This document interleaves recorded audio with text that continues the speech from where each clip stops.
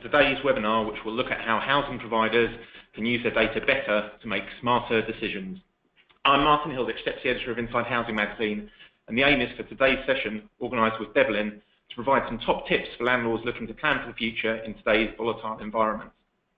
I'll be introducing our fantastic panellists and talking through the technical ins and outs of today's session in a few moments. But first, a bit of context. We're living, of course, in a world that is changing rapidly. In the space of the year, we've had Brexit, a change in Prime Minister, and now a general election.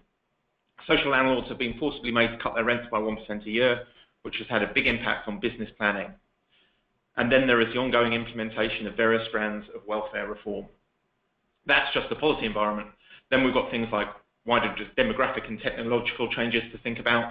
On top of all this, housing associations are becoming increasingly diverse and complex businesses in order to subsidise their social purpose. So certainly a complex environment to navigate, and certainly historically, data collection and usage in the sector is notoriously patchy. But don't worry, this webinar is designed to help providers think about how they can improve their forward planning using their existing data.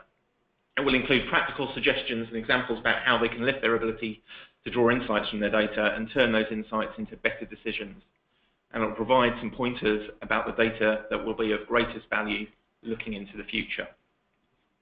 We'll be looking at everything from understanding business costs, service quality, how to better target investment in communities, or use data to galvanise sensible structural change. So there's a huge amount for our panel to get their teeth into this morning. We've assembled an expert group with a range of practical experience to help answer these challenges. In a moment, we'll be kicking things off with Kate Krokou, Head of Strategy and Business Intelligence with Hyde, about its asset intelligence model.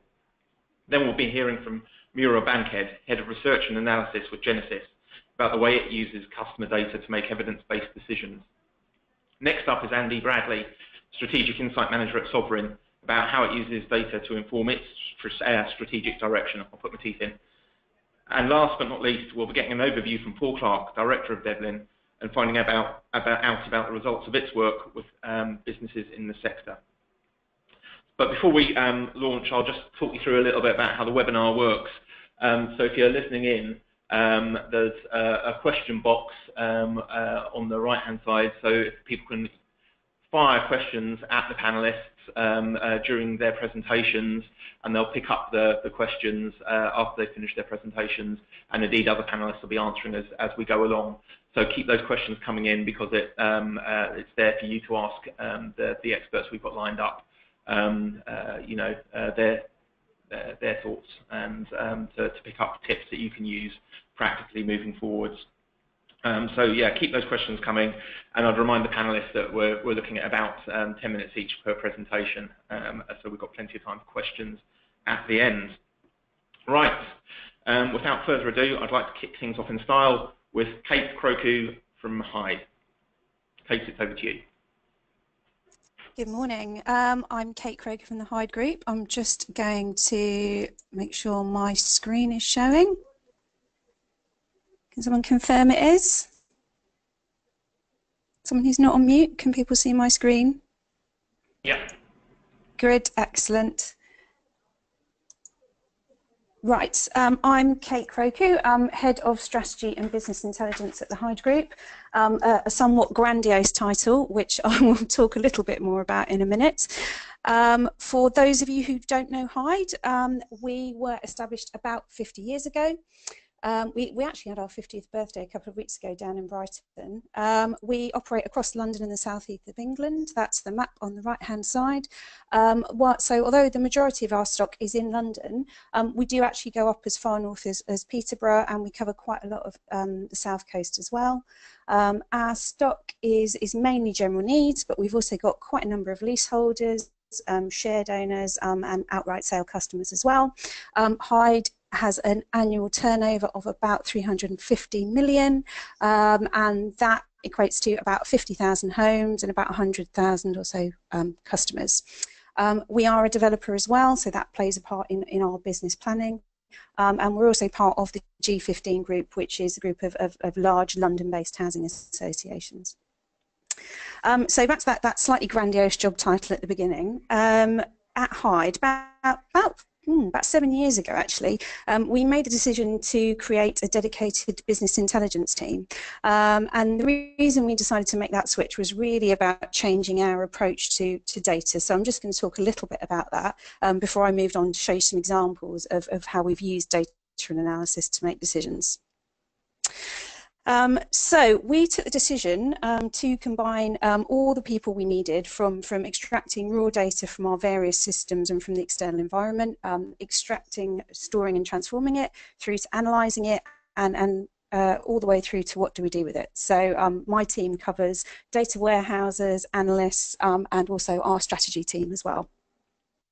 Um, how is business intelligence different from data analysis? Is it just a fancy title? Um, some might argue it is, but really the difference for us is about what we do with the data.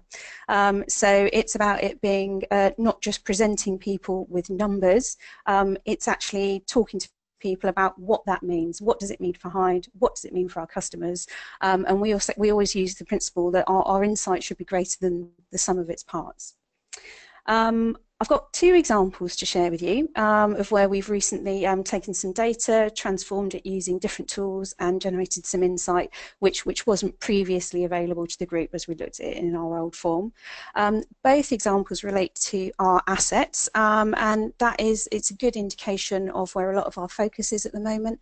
Um, we are really focused on, on maximising our own financial capacity, um, using that financial capacity to, to fund our services, but also to fund our development programme. Um, the examples I'm about to show you, um, some of you may have seen similar things before. Um, we aren't necessarily the first or, or maybe even the best, but um, we're just happy to share what we've done and I hope, I hope you find it interesting. So our first example um, is our grandly titled Asset Intelligence Model, uh, known as AIM. We do like an acronym in housing. Um, and what this is, is it, it, started life as an Excel spreadsheet back in, in 2012. Um, and it's, it's since then it's been um, developed, evolved, refined, um, and it's now actually a live model in our in our data warehouse that gets daily updates. Um, what it is essentially is it is a model that takes all of our properties and pulls information from various of our own systems about the financial performance of those assets, um, performance about the, the operational performance of those assets, and also external data as well.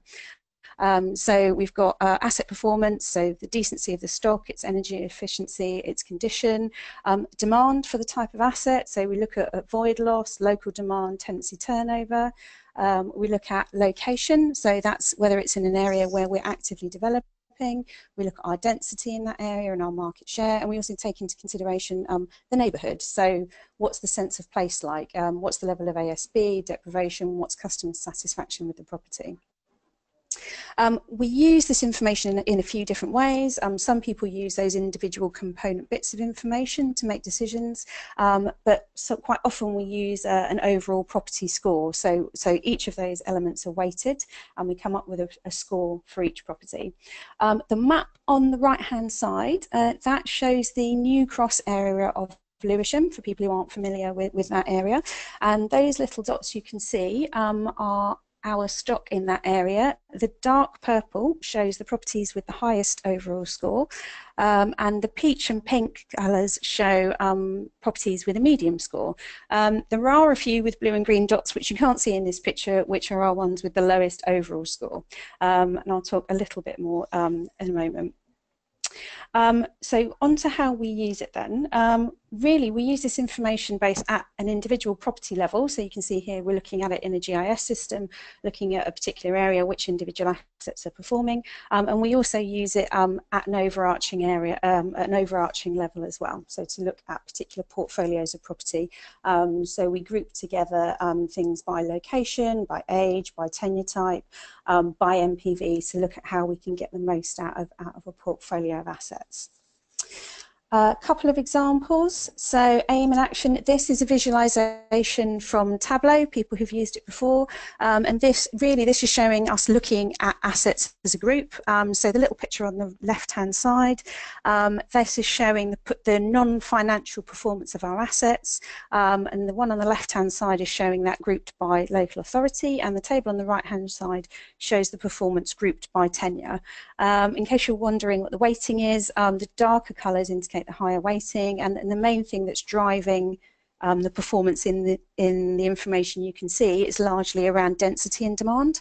Um, so this is showing you where we've got the largest density of assets, but also the highest demand for property as well. So it's all very exciting, but, but back to my original point about we like to focus on what are we actually doing with the information. Um, so, so what? So I mentioned before, um, we use this information at an individual level. Um, so we use it to assess uh, voids for um, either disposal or potential investment or possibly even a change of use. Um, we've used it to mark up all our lowest scoring properties across the group, so they're now flagged on our database. Um, so as and when they become void, they are immediately passed on to the asset management team um, to be reviewed rather than sitting with the local team for a while while they decide what to do with it. Um, we've also, and on the basis of that, um, Hyde's got an active of program of disposals. So looking at assets that don't fit our needs anymore, um, either they don't fit with our geographical um, area, our footprint. Um, we also particularly look at assets that are perhaps um, in need of quite a lot of repair. Do they represent good value for Hyde? Do they represent good value for our customers? Um, would we would we actually be better to to sell that property on and reinvest the capital that we get into building new homes and services? Um, and also the slightly controversial area, it's been in discussion for a while around high value assets. So looking at assets that we've got um, in particular areas that have a very high value attached to them, we might look at that and say, um, is this really the best use of Hyde's money? Um, if we disposed of this asset, could we build two, three, or even four more properties in a different location? Um, and, and that is what's behind our, our churning of assets um, at Void. Um, and actually, in using this data to target um, the properties that we think we can get um, the best value from using differently, uh, we managed to achieve a target of 13.3 million um, raised from disposals last year against a target of about 12.5 million. Um, and again, just to reiterate that that money doesn't go into um, champagne for, for shareholders. That money all gets reinvested into our services and, and building replacement homes and, and new homes. So that's at an individual level. Um, at a group level, um, I talked before, we group together things. Um, we've had a, we've, in our third year now of a stock rationalisation programme, um, so we've used the AIM information to inform that. We've gone down from, I think we had over 80 local authorities at the beginning, we're now down to just over 70, um, and that rationalisation we think is going to help us be, be more efficient in the way that we manage those, the, that stock and also give a better service to our customers. Um, we're also looking at it this year in, in terms of how we use it to inform our, very grandly titled Strategic Asset Management Plan, um, and that really is, is used by our Treasury team to look at our long-term investment planning um, and, and considering how best we use our assets. I'm conscious of time, so I'll, I will skip quickly on to the next one. Um, external decorations. I know it sounds thrilling. Um, this is quite an old chestnut for most housing associations. Um, this is just a nice example of where um, taking the data, having a look at it, and, and, challenging some of your, your existing perceptions can, can generate some really good insight. So we had a fairly typical programme. Um, it was due to cost us um, 47.5 million pounds over seven years. it was based on the last date of property and some standard assumptions about when we would need to revisit that. Um, we decided to relook at this. We got some new stock condition information in. Um, we decided to take the data out of our systems. We put it into um, Tableau and did a bit of exploration to see what we could find. So this slide is a screenshot from Tableau. Um, and essentially what we found is that by looking at the actual condition of the property, uh, we could challenge some of those assumptions about when we next we needed to visit. Um, and what we found is that based on the stock condition survey, we could probably extend that average out um, from 6.3 years to about 8.3 years. Um, why is that important? Um, it's important um, because it changes the financial profile of our program. So to get there, we, we recategorised jobs into two new life cycles. So that was five years where um, it was specified for a particular job where it was required, and seven years for all the remaining jobs. Um, we also then looked at grouping and clustering properties with similar postcodes um, and putting them into specific financial years to, to smooth out the programme. So, so what you can see at the top of that graphic um, across our different lots is, is the difference in the average number of years between visits compared to our, our what was our current programme and then what we thought it could be under the new programme using our stock condition data. Um, so what what does that mean? Um, well, um, we are we're quite pleased to say we think we generated the potential to save about 1.6 million pounds per annum. Um, between uh, 2017 and 2013 um, and that really is by reducing the number of visits per year, grouping works together um, and lengthening the life cycle where it was appropriate. we thought we could smooth that out.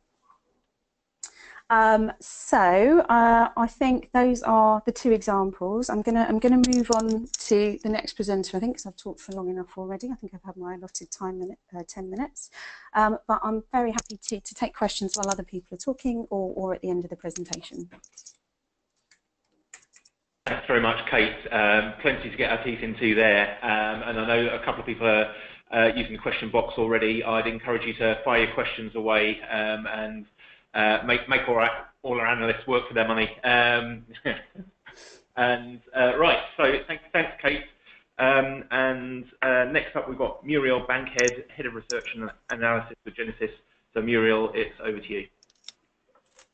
Good morning. Um, let me begin by introducing Genesis Housing Association. We're a member of the G15, housing 100,000 tenants and residents in almost 33,000 homes, which collectively have a value of 7.27 billion. We're based in London and the South East, and we're a top three social landlord in Brent, Barnet, Westminster, and in Camden. Interestingly, we have a broad mix of property tenures with over 15,000 general needs stock, plus 1,200 affordable and intermediate rents and, and temporary housing. Our second largest group of customers are leaseholders and shared owners. Almost one in 10 live in supported housing. And we have over 850 market rent units and around 1,400 key worker places. And this makes quite a difference to the information that we need. It makes it really important for us to understand our customers the current needs in our existing properties, focusing on affordability, suitability, and running costs. But we also need to examine their future needs and aspirations of properties and of tenancies, while exploring the quality and design options for future homes and different build options. Therefore, we need good customer satisfaction data to ensure we achieve continuous improvement using a virtuous feedback cycle of measurement, action, and results. We use the leadership factor to conduct two waves of research each year. And we benchmark these against all companies and, of course, against the housing sector. In addition to these key drivers, we undertake transactional satisfaction surveys, post-repair, and ad hoc surveys for different groups of residents, like, for example, our post-project resident surveys to measure satisfaction with new homes. In common with the rest of the housing sector, we present data to CORE on our general needs customers, and here we can see some of the key differences between social and affordable rent customers and supported housing, where single men predominate. It's really important that we understand these characteristics in order to plan for the provision that we need to meet their needs. The housing sector is operating in uncertain times with a raft of new statutory and regulatory changes from right to buy to welfare reform, which may challenge the bottom line as rent reduction has. There's never been a greater need for research and financial modelling to steer our way through this changing political landscape.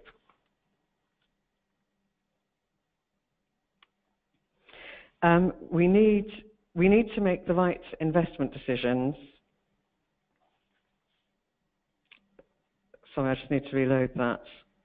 We need to make the right investment decisions based on the evidence, and at Genesis Research is the foundation of our investment strategy, targeting areas with potential for growth and value uplift, and assessing which boroughs we should partner with. Our new business and asset management teams rely on information on the housing market in our borough pricing analysis and the review of crucial housing and planning policies and the local authorities' core strategies and their local plans. Finally, the research and analysis team produced site-specific market intelligence, desktop valuations, and pricing recommendations. The assessment of Genesis boroughs takes account of development opportunities, including housing zones and net dwelling targets, affordability for residents, and competition from other registered providers to determine whether Genesis should be investing or divesting of stock.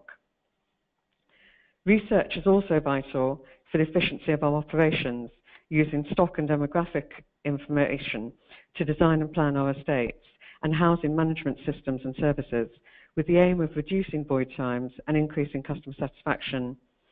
Managing more commercial tenures requires different analysis on the length of time it takes to sale completion or market letting, as these models vary substantially from social lets through the nomination process. In Stratford, for example, Genesis let 400 rent flats in a single building. Staircasing is a very important part of our revenue. Staircasing, as most people know, is the um, operation of people buying an additional portion of a shared ownership home. It produces increased revenue and owner satisfaction in equal measure. To assist our marketing teams, we examine the peak years for staircasing to, uh, to target communications with residents. But all housing associations face considerable challenges with data quality. I can recall a presentation from the NatFed showing a cluster of housing association residents aged over 110 because many housing association staff recorded the date of birth of the 1st of January 1900 as the real date was unknown. It's easy to see that people rarely live to 117, but it may be hard to spot other distortions in the data. So does data quality matter? The answer is yes, and increasingly so. The general data protection regulations will come in next year, and data accuracy is necessary for the introduction of new technology. As date of birth is an important security question, it's vital for the successful introduction of digital platforms like the Genesis app. This led to Genesis introducing a data quality project to collect and backfill customers' dates of birth where they were missing. Our aim is to achieve 100% accuracy, obviously. Better data is really important for making smarter decisions. With new technology user ID requirements and changes to the GDPR, it makes it mandatory for housing associations. Most importantly, it enables housing associations to offer better services to our customers, to achieve better value for money by reducing our costs at the same time. Thank you for listening.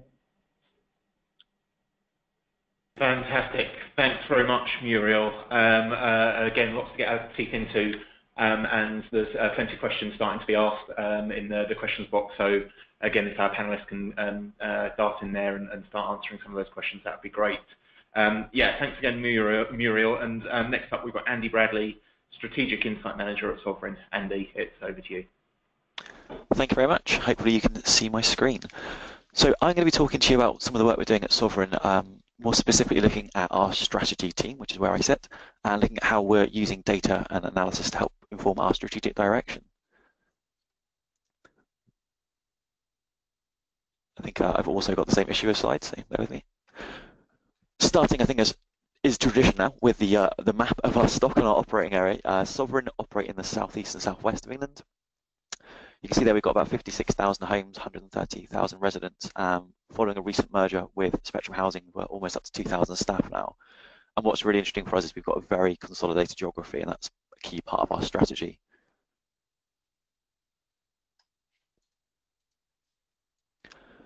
So I'm going to be focusing on the work we do strategically. And I just want to spend a moment and explain, about a year ago, we defined a schema of data that we thought was important. So we've currently got two housing systems, two asset management systems all following the merger. We've got Qlik as a reporting solution. We've also got an enterprise uh, web mapping system. So we defined the data we thought was relevant and we pull all of that through from our internal data sources into our, our data model. Um, and then we augment that data with information from external parties. So we work with CACI in terms of customer segmentation, an awful lot of data from places like the ONS, uh, Stat-Xplore, so lots of government data from DCLG, property values from Valuation Office, that kind of thing.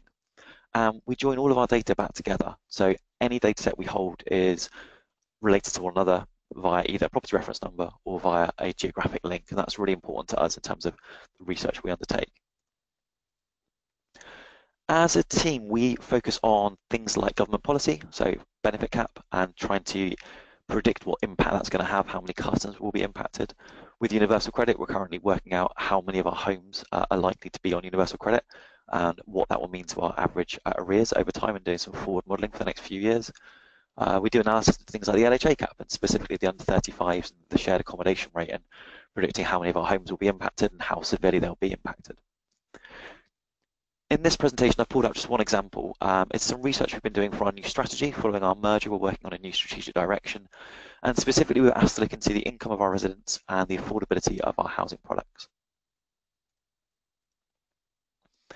So to define affordability, we came up with our simplistic affordability triangle. And what we were saying here is that affordability is a balance between uh, how much you earn, your income, how much you spend on your house or your rent, but then also your composition. So in this case, depending on what your family makeup is, is what your expenses are. So two adults versus a single adult with three children, they have very different outgoings.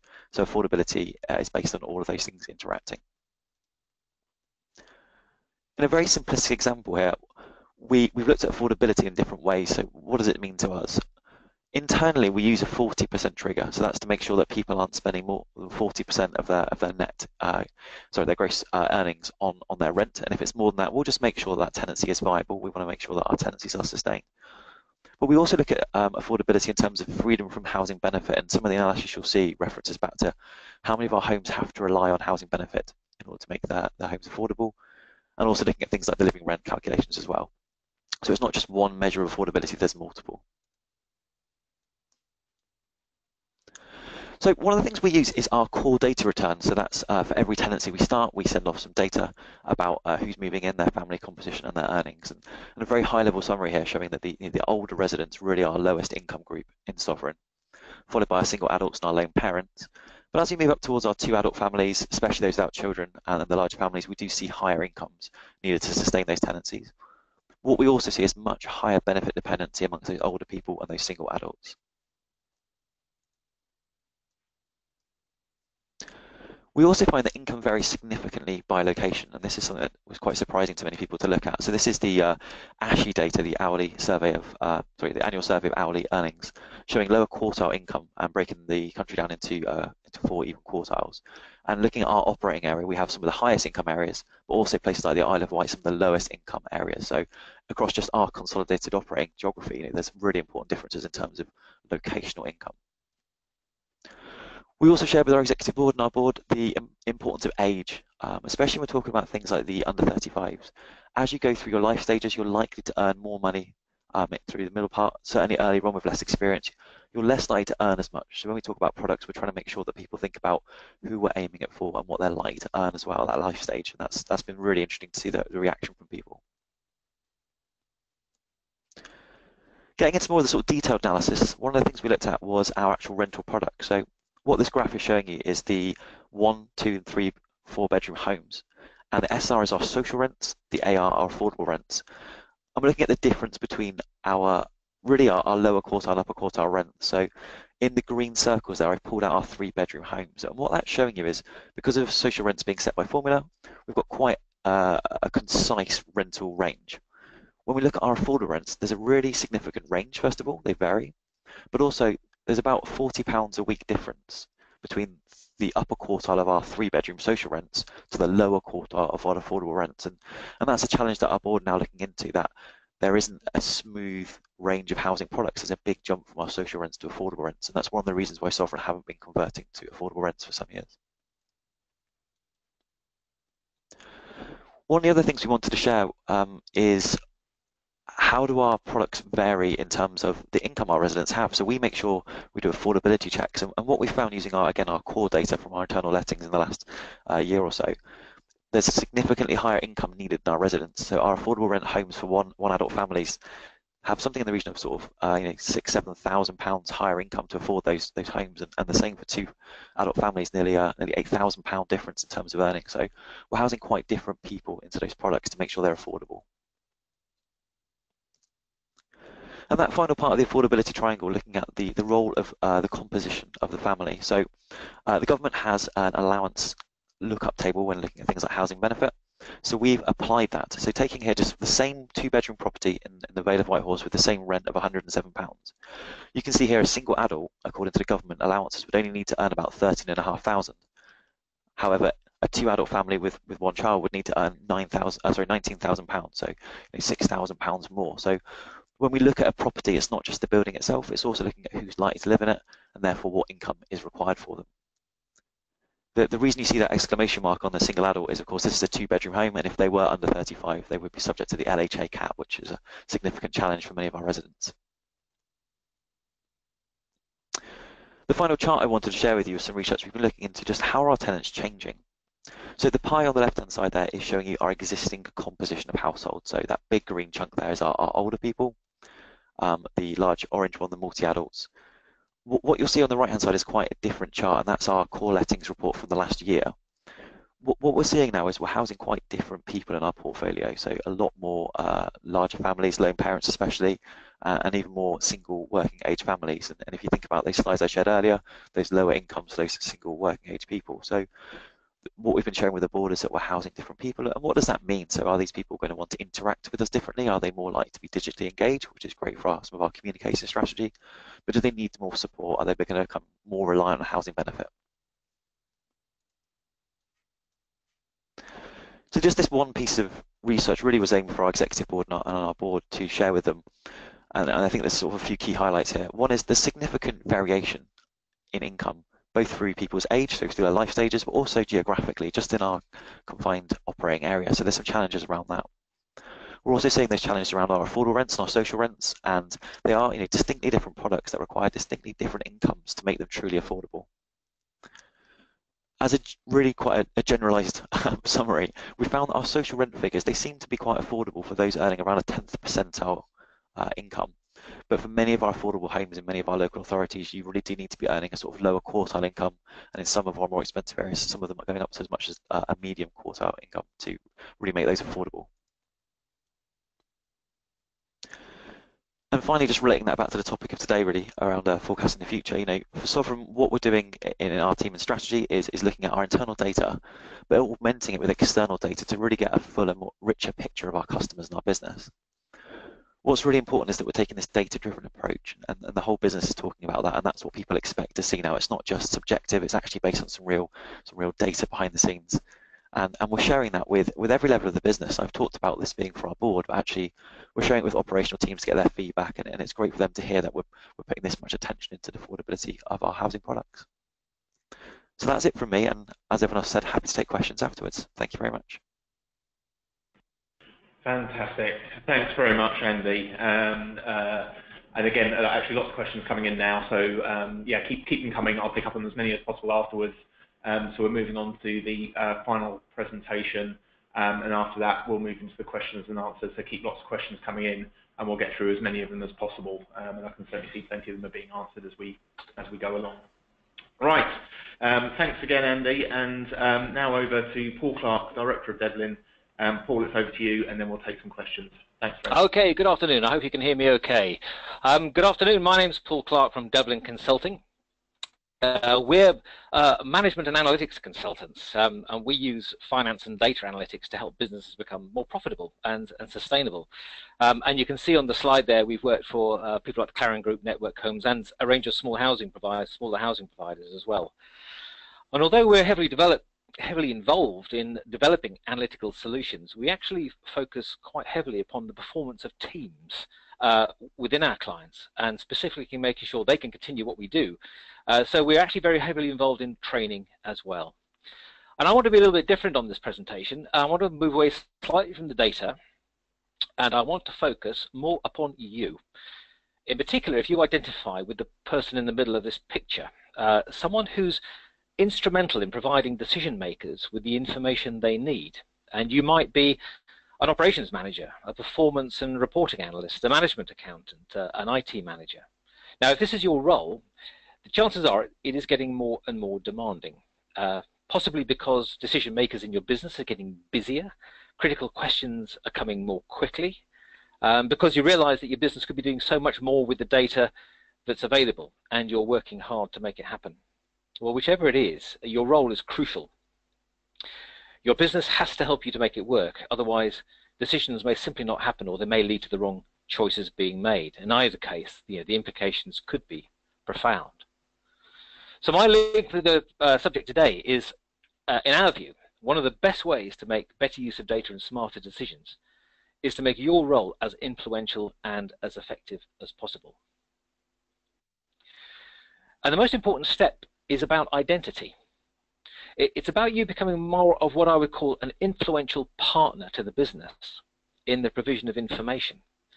It means spending less time looking in the rearview mirror reporting what's already happened and more time collaborating with those in a decision-making role to build your own picture about what lies ahead and what decisions may be needed.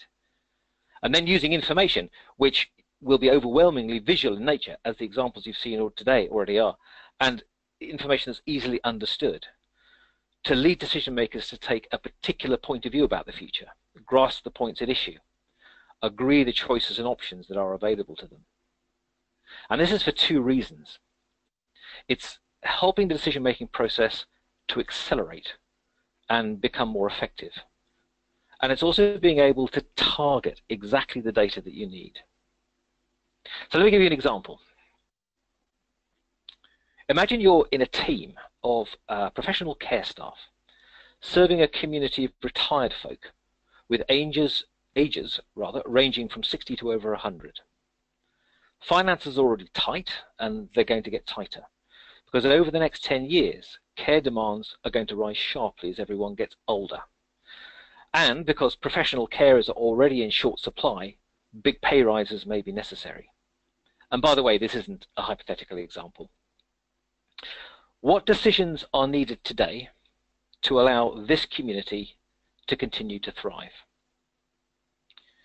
As what I would call an information partner, you will already know what decisions are needed, and you will also have information ready that ensures the right decisions get made.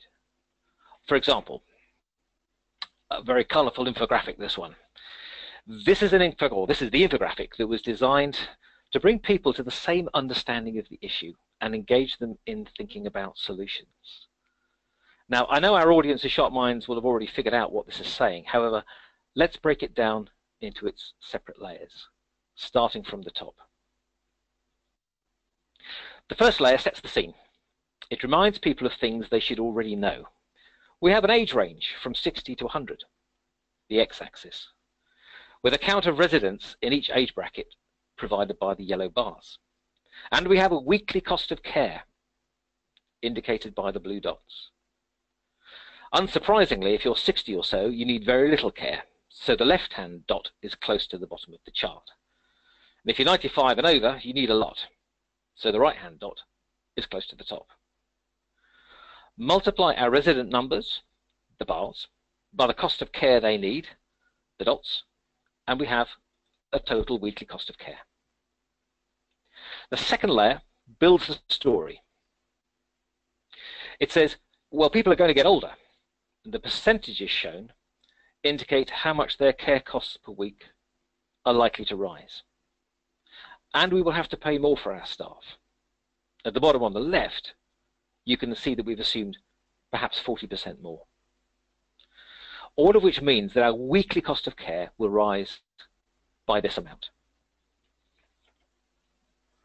Finally, the third layer delivers the punchline. Yes, but there are things we can do, specifically as shown at the bottom on the left. We already know that volunteers and family can do some of the things that the professionals do.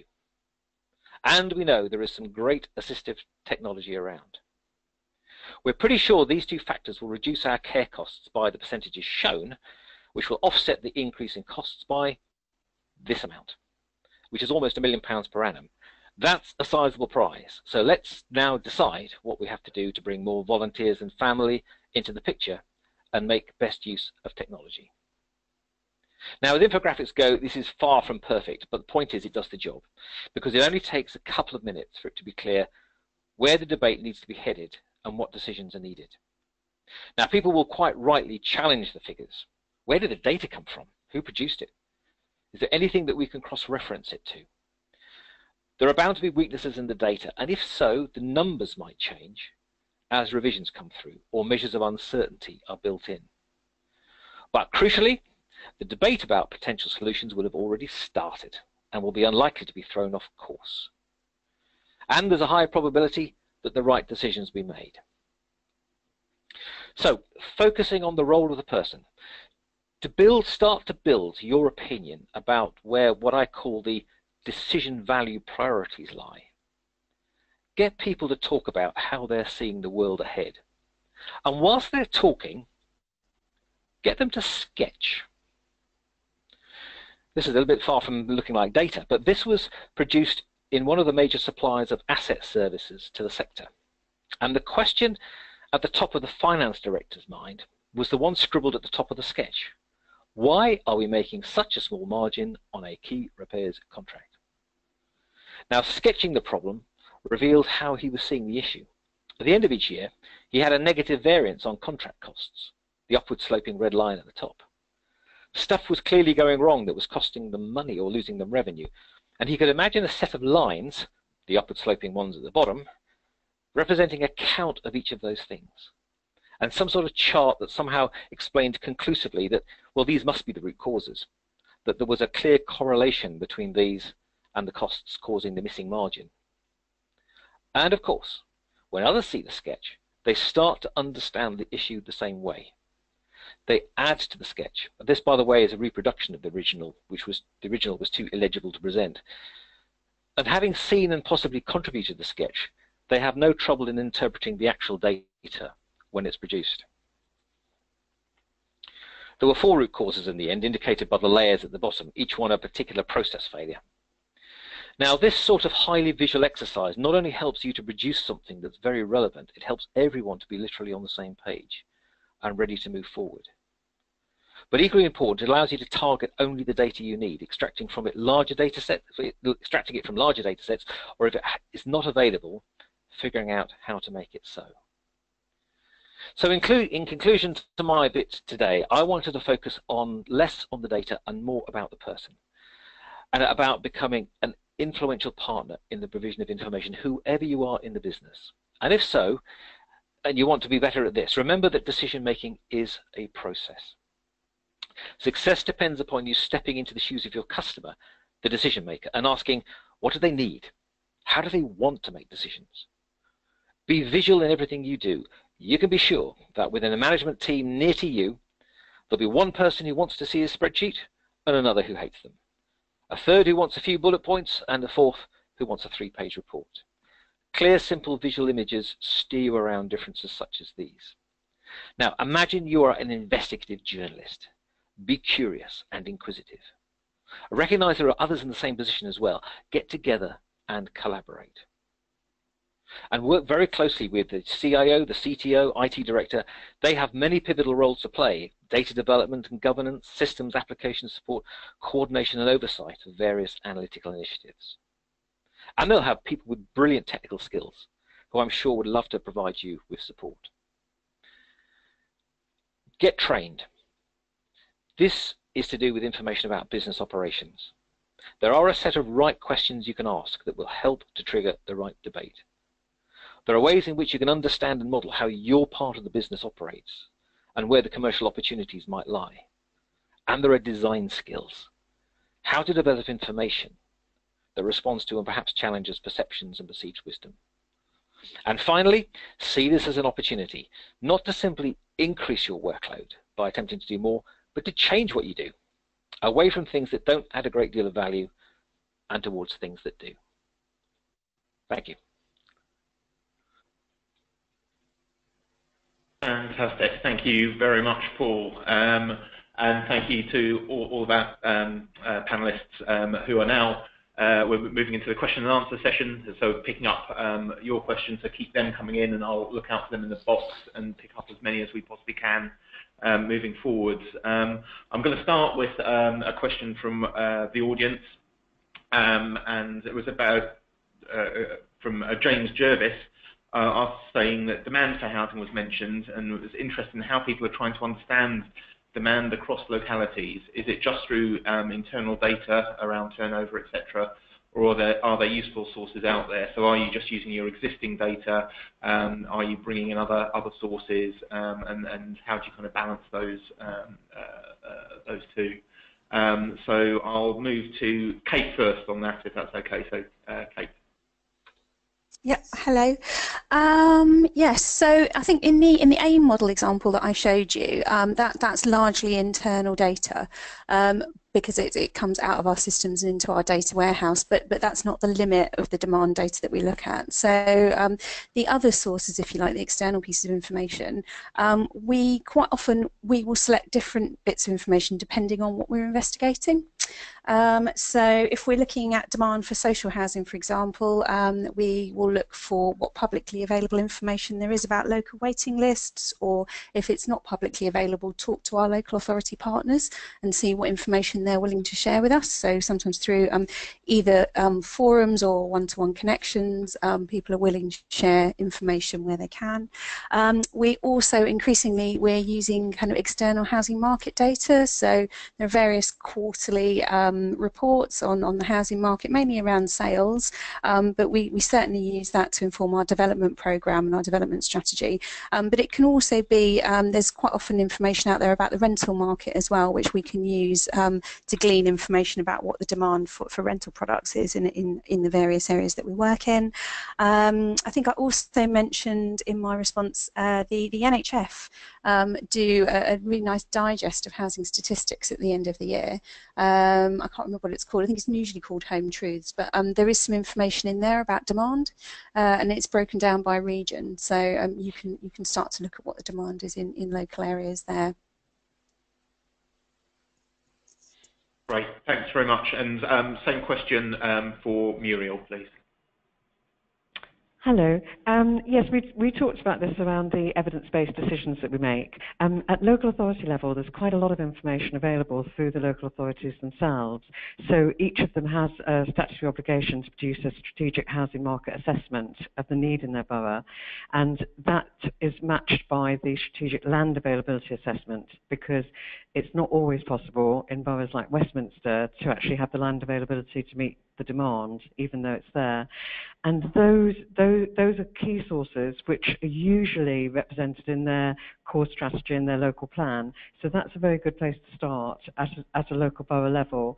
Uh, on a wider level, actually, um, DCLG publish a lot of data about housing as Kate said, um, but, but also um, the, the London plan will have targets for dwellings and there'll be net dwelling targets, again, at local authority level, which are worth looking at. In a more specific way, um, you can actually get a lot of information about sites that are being developed and the number of units that are going through the planning and construction process for London particularly, that's available through Molior, and they also produce private rent uh, reports that will actually show you what, what um, what's available in different developments, what, what the charges are for those market rent units, etc. And that makes it really easy on a very site-specific basis to make comparisons between what you're offering to a private rent market and what your competitors are bringing to market as well. So I hope that helps. Yeah, really useful. And um, uh, yeah, keep questions coming. So if there are any follow-ups from that, then um, keep firing them at, uh, at our panelists. Um, I'm going to move on to another question, so I want to get through as many as possible during this um, um, session. Uh, so I think this was uh, aimed at you, Paul. Um, so I'll come to you first, and then I'll, I'll move to Andy. so Paul, the question was um, from David Noble, and it was how do you deal with issues of correlation and causation? How can you be certain that things are related? Um, and how can you demonstrate things uh, aren't related, um, even if they appear to be connected. Um, so, Paul, if you can pick up on that first, and then um, Andy, I'll come to you next. Yes, absolutely. In fact, I was just reply I was just replying to David, and I realised that my, my typing speed wasn't quick enough for this for this one. Uh, it's a really critical question, and there's two things about this. Um, first of all, data visualization is critical. Um, because actually we are very, very good visually at, at spotting trends and spotting outliers and that sort of thing.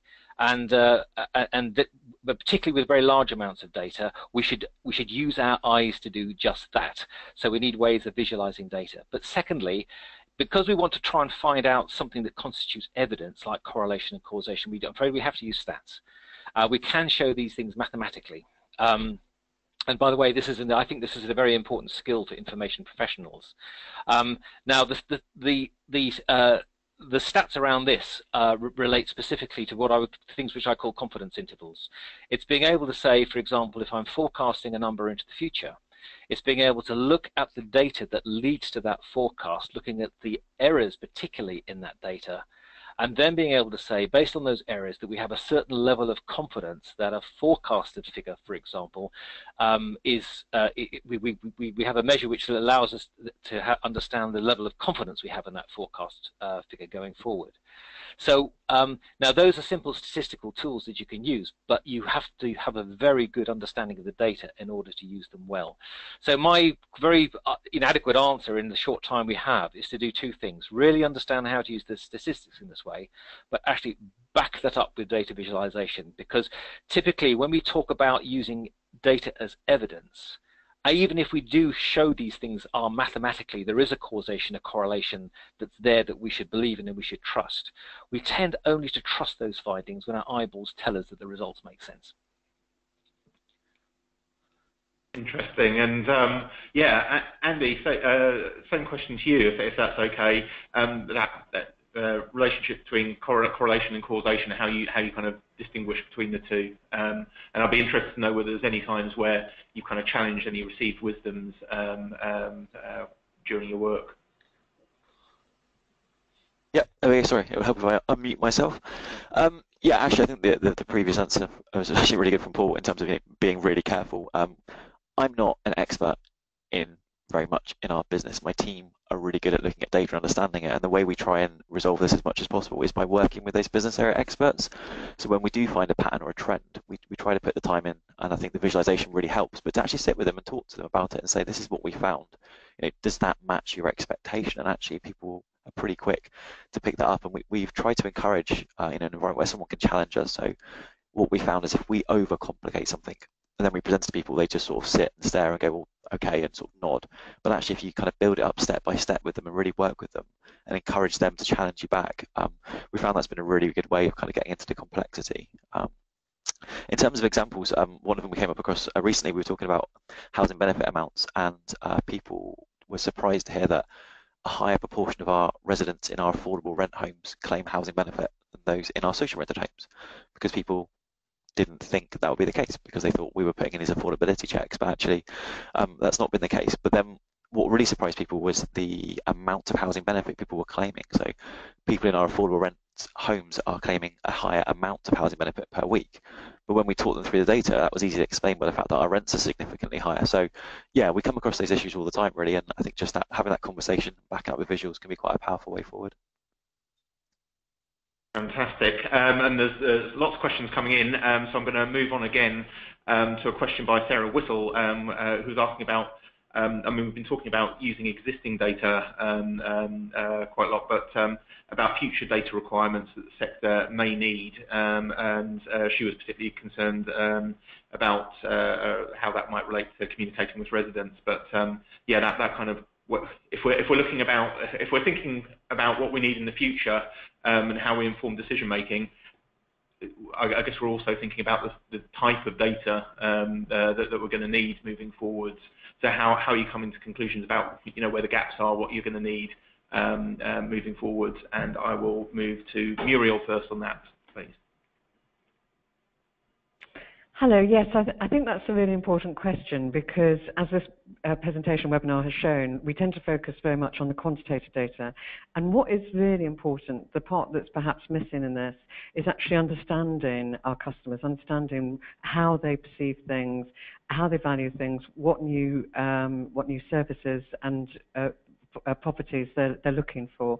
And the best way to approach that is to have a mix of qualitative research as well as the quantitative analysis, because that's the best way of actually sitting with people and understanding what, what they like, what their preferences are, um, what their needs are, and also the language that they use to describe those so that we can communicate with them easily in language that they can understand. Hope that answers your question. Uh, yeah, no, uh, uh, fantastic. Thanks very much. And um, Kate, uh, same question to you. So, because I, I, think this is quite a fundamental one um, for people to be wrestling with. Not not only um, what does your data tell you about what you need to do with your business, but actually how do you work out what data you're going to need um, moving forward. So.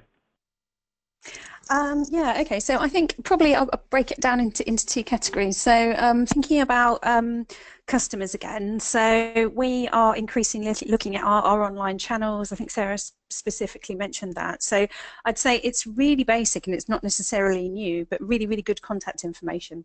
Um, and so particularly mobile phone numbers um, and email addresses so that you can actually make use of those new digital channels. Um, lots and lots of bits of software offer the opportunity for, for mass texting, but, but they're no good if you haven't got decent quality mobile telephone numbers that you can, you can use to make them work. Um, I think for us also, it's about looking at uh, patterns in our customer contacts. So uh, how are people using those digital channels? Um, we actually formed, it's the, the beautifully titled Omni team now that's part of our customer services who are in charge of, of managing um, uh, contacts from residents that come in via social media. Um, and they're actually looking at, you know, patterns of how people use social media, when people use it, uh, what are the types of things. So tends to be um, expressions of dissatisfaction. So thinking about how you engage with people via those channels when they're probably doing that because they're, they're expressing frustration um, at, having uh, the response they've had through another channel. So we're, we're actively looking at not only our own customers, but what are the trends out there in the market. There's an awful lot of information out there about, about how to use social media effectively. So, so that's another source of data. Um, I guess the other thing that I think a lot of people have, have, have meant, or people are thinking about and how they might use is, is get getting information directly from our assets. So again, thinking about using new technology, um, you know, can you get uh, your your, your assets to report back to you via devices that are installed rather than having to go out and do stock condition surveys. And um, that's something that we're starting to think about. Um, and I think the, the other element to say is I think um, it's less probably about new data, but it's probably about really, really making good use of the information you've got. Um, and particularly around um, customers' payment methods, for example, so thinking about responses to universal credit, um, we did quite a lot of work monitoring um, the patterns that people people fall into around payments, who are the people who we know um, using our customer segmentation are the most likely to struggle, um, and actually targeting them um, um, upfront, getting them onto direct payments, getting them onto standing orders, and making sure that we're proactively approaching those people.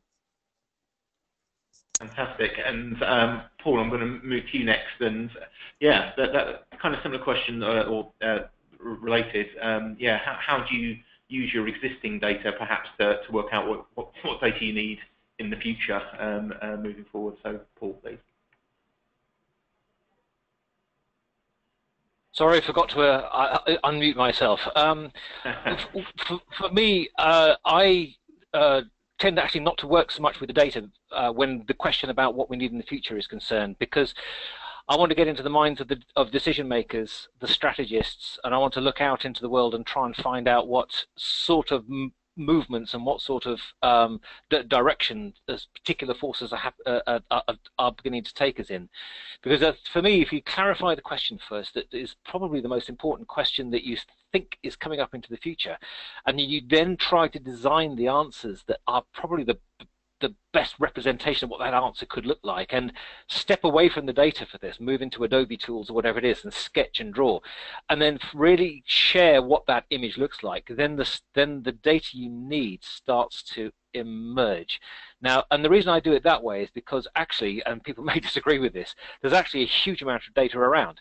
And there's also a lot of data inside organizations. The problem we have is, is, is, is accessing it. I'll just give you a very quick example. Piece of work we were involved in was predictive analytics to try and predict uh, whether uh, which residents were going to abandon their homes.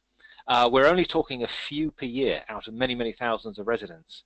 Now, at the end of the day, the best thing we did was to try and design what the solution looked like, and the, what probably the the driving forces, understand what the driving forces were that would lead someone to do that. And when we did that, we realized that the data was there um, but it was very, very hard to reach. It was all about measures of contact with the customer, looking at measures of stress in the in the relationship that you have between the customer and and the registered provider, looking at patterns of payment, looking at patterns of communication. And when we started to do that, some of the patterns that were really interesting started to come out. Now I couldn't have predicted what that data would be um, prior to getting out onto the shop floor, so to speak, riding with the housing officers, really understanding how they look at the world, and then thinking to ourselves, what does that mean in terms of, of, of, of the data we need? So I would probably say the data is going to be there, a lot of the data you need, but try and turn this process on its head. Not look at the data and ask, what in the data do we need, but start looking at the question and then work backwards and look at the data. Fantastic. Now we're running short on time, so I'm gonna gonna run with one more question. Um, again, coming from uh, the audience, um, but I'm to kind of morph it with uh, one of my own. So um, the, the question I was going to ask was, what's the single biggest challenge for housing providers on the horizon, and how should they plan for it? And the question that I think came from the audience was, uh, what are the effects of Brexit on social housing? Um, take, take, a pick on uh, one or the other, um, and uh, but certainly in terms of the, the biggest challenges that, that you think, or challenge that you think that, that's on the horizon for housing providers and how you're planning for it. Um, so um, Andy, I'm going to hurl that one at you first, and then I'm going to move down the panel, um, finishing with Paul, um, and then we'll wrap things up. So Andy. Crikey, that's a that's a huge question. so trying to keep my answer brief. I think probably right now for us is looking at things like uh, the rent reduction and, and what's going to happen to rents after 2020. So I'm actually on the NHF task and finish group for um, potentially going for some sort of rent flexibility. Um, so that's where we're looking at uh, things at the moment. So I think that's potentially going to be massive for us. But with the election coming up as well, it'll be interesting to see what happens. So in terms of planning from our side, you know, we've, we've got all kinds of financial modelling, as I'm sure everyone does, about what options might come out in terms of CPI plus or potentially minus in the future.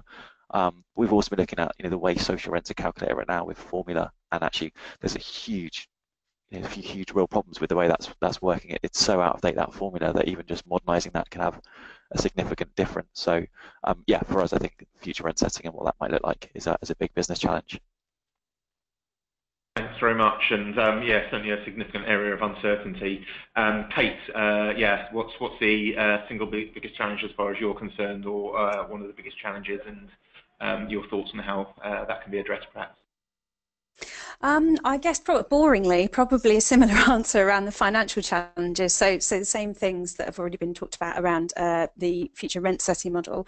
Um, but I think also we are working really hard to think about how we can carry on delivering new homes.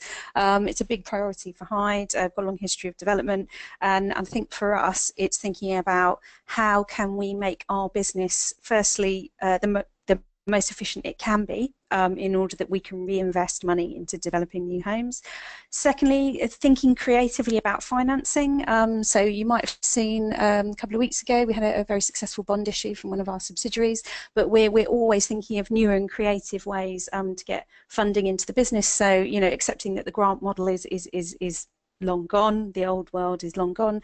Um, how can we carry on getting money in order to build those new homes that people desperately need? So I think that's probably the biggest challenge um, is on financing. And I would say the same thing about Brexit, really. So that the impact of Brexit, I think for us, it's really that the macroeconomic impact of Brexit. So what will that do to the housing market? What will it do to the finance markets?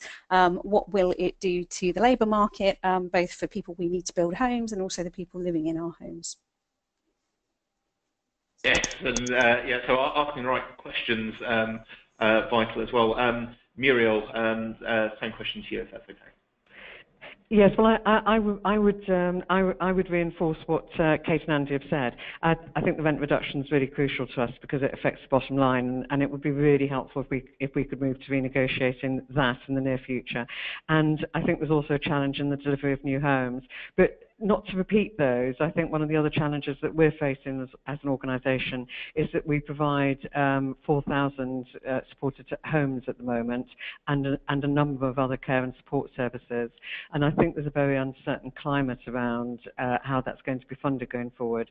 There's been a lot of talk in the media about the funding of social care. And I, I know that a number of other housing associations have, have actually decided to withdraw from that area be, because the profitability is uh, under challenge at the moment with the current welfare regime. So I think that this is this is a major challenge for us going forward. It's one we haven't got the answer for yet, but it's certainly something we're going to be grappling with over the next year or so. Thanks, thanks very much, Muriel. And um, yeah, some, big big topics come up here. So I think there's about five other webinars that um, uh, we can we can pick up on. Um, Paul, same question to you about uh, the the big uh, the big issues dominating the horizon and some fi final thoughts perhaps. So Paul, thanks. Okay, thank you. Well, I think my answer, boringly, is going to be a little bit uh, in with the, the other presenters, and Muriel just touched, touched on it just now. Uh, we've done a lot of work in helping uh, communities think through how to reduce care costs. Um, and for me, this is the, the, the, big issue that as a society we have to face. And, uh, and I think that uh, housing providers are going to find themselves there, uh, whether they like it or not, in a way. But there's some tremendously good work being done around the sector, and again, there'll be about 10 webinars on this one, about how the way that communi communities of residents can change the way they, they, they, they, they work together, they sustain themselves. And actually, in my talk, I was kind of in that territory. Uh, with some very important and big findings to to to uh, to deliver in terms of how costs of care can be reduced, how people can be um, kept healthier, more uh, self-sustaining, uh, less time in hospital, basically aging well, and aging well quite often with some quite complex health needs. These for me are the big issues, and there's, a, there's an awful lot of work being done in the sector about the use of data, the use of analytics, and the use of, of assistive technology to really look at how these these communities can can work. That that for me is, is, is the big one. Look, looking longer term, and again, there's another five webinars on this one. As consultants, we've worked in sectors which are kind of ahead of the housing sector in a way in terms of changing their identities. For example, we've worked in utilities that were privatized many years ago. We've worked in higher education, which is they see themselves now as very, very commercial organizations. And probably my, my last line I would just like to offer is that I think the future for people like housing associations is a very tough challenge. It is to maintain that social imperative, maintain that social contract, but see themselves as taking all the commercial opportunities they can. And if you look outside of the sector, look into other sectors, you'll see sectors that have done that, kept their identities clear, kept their identities intact in terms of their core purpose, their core mission, but at the same time become very effective commercial entities. I think that's probably where the thinking needs to be. Thank you. Thanks very much, Paul. Um, and uh, huge amounts of uh, food for thought from all of our panelists um, today, and the discussion uh, could, could, have uh, uh carried, on for a much longer period of time. I think time's whisked by. Um, I'd just like to round things off um, by thanking um, Develin and Kate, Muriel, Andy and Paul. Um, thanks to all of our panelists, and I hope you enjoyed uh, today's webinar. Thank you very much.